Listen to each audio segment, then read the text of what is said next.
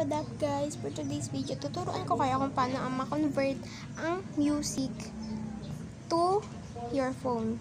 So yan guys, madali lang to. So bago ko to simulan, siguraduhin nyo nakasubscribe na kayo and naka-ring na din ang bell button para updated kayo sa mga lyrics na ina-upload ko at sa marami pa nating tutorial na gagawin. So simulan na natin! So yun, syempre pupunta ka ng YouTube. Yes, YouTube, punta ka. Then i-search mo yung gusto mo na i-convert. Like lemon tree, kunwari. So yan, lemon tree. Then i-click mo yung gusto mo. Yan. Then yan, lumabas na siya. Then pindutin mo yung share button. Yan, share button. And copy link. Yes, copy link. Then pagtapos nyan, i-stop mo na yung video, pumunta ka sa Chrome. Wala diyang Chrome. Ay, wala pala dito Chrome. So, yan, ayan, ayun yung Chrome. So, yan.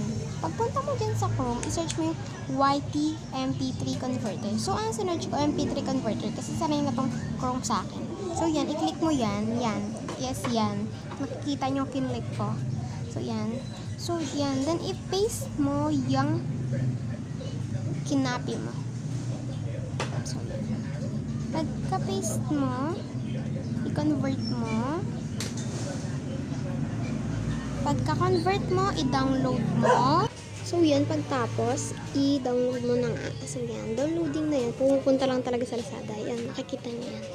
Yes. Ang bilis nila mag-download, guys. So, yan. Pagpunta mo, pag-download yan, yan.